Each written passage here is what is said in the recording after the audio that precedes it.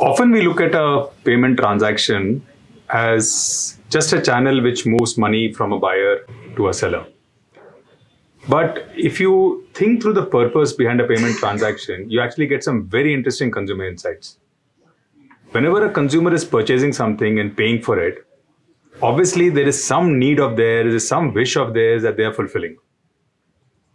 And this need, this wish actually differs depending upon what they are buying, where they are buying. Say, for example, you know, you are uh, going and buying some groceries. Now, your state of mind when you're buying groceries and you're coming to the checkout point where your items have been billed and you're about to pay is always a little worry that did I miss something?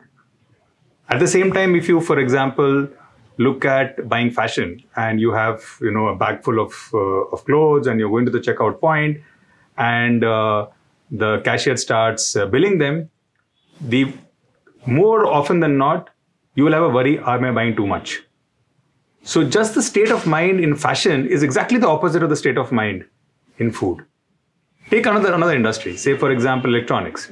In electronics, you're going, you go ahead and check out, you know, three, four, five different kinds of television sets, three, four, five different kinds of refrigerators. You probably like a larger one, uh, but you may settle for something else or you may decide not to buy because there is somewhere in the mind a hesitation a hesitation that do i really need to do this? Can i can i can i do it a little later?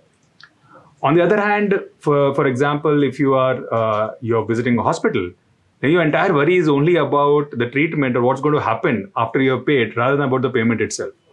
So the fact that there is a consumer insight which differs in each of these categories can actually be utilized to make this humble payment transaction actually into a powerful purchase tool which can address that state of mind of that consumer and urge them to buy better products and more products.